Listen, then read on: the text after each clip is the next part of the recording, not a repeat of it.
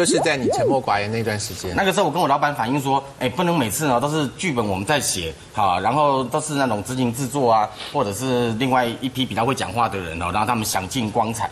好，我说我也应应该也让我自己要去面对艺人，面对主持人。嗯，那我老板就说好了，给你试看看好了。在那天我就写了一个脚本，然后大概花了一个晚上时间，想说要怎么跟这些艺人互动。你不会有对镜子练习吧？有啊，就是对镜子练习啊。所以有开场白吗？说各位大哥，请听我讲。各位大哥，这个很好笑哦，要注意哦。我接下来要讲的事情呢，你们会觉得说是一个经典的一个一个爵士的作品。好，我都对着镜子这样的模拟。各位大哥，这个会很好笑，这个你也讲得出来？是啊，因为当时那些都是大哥啦。就是碰哥啊，然后郑敬一啊，然后小董哥、小董。所以你进去之后，真的有照着你的演练，就说各位大哥，请注意喽。我我就拿着拿着脚本嘛，然后然后我还鞠躬哎，各位大哥，你好，那我今天要跟你们讲今天的这个短剧的内容。然后然后接着我就发现自己一那个拿着那个手一直抖。哇，好一直抖。你是用你是用讲解的吗？还是我本来是打算用演的，可是我发现遇遇遇到他们完全脑袋都空的。因为他们万一抽烟，然后很冷漠的看着你，就没办法。他们是这样，他们是呃 五个人围着，然后在那边玩那个十八八万，你知道吗？哇，不 是十三，是还高级一点。在后台玩掷骰子，掷骰子，然后那个还有那个那个五加皮。然后你现在是在报复他们？你把这个讲出来看，摄影棚还是工地啊？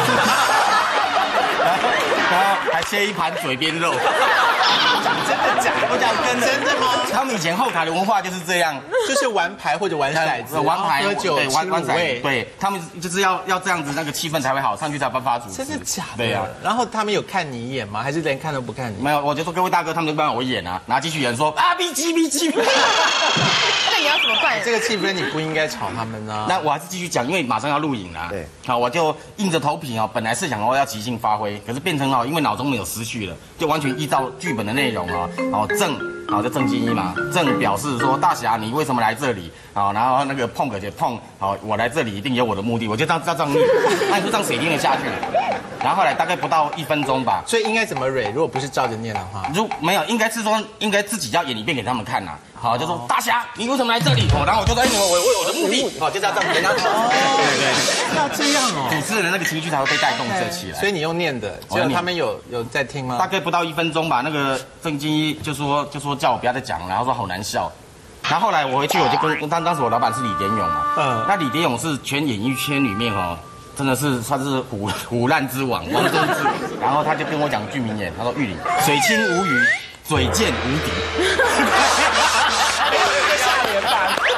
扯吧，你自己鬼扯的，真的啦，你很烦所以你后来就开始训练自己的口才，哎，就开始训练自己那个那个嘴能尖一点。好，那那目的是因为是职场上的一个压力了。你如果不这样哈，你在这个行业根本没有办法混。了解，我觉得看电视的人可能很多人正在烦恼这件事，希望你们今天讲的会稍微有一点励志的作用，可以点点。我觉得学你可能会死哎，不会啦，不会啦，我今天有点这么小小的成就，还不就是靠一张欠嘴。欢迎选兄请坐。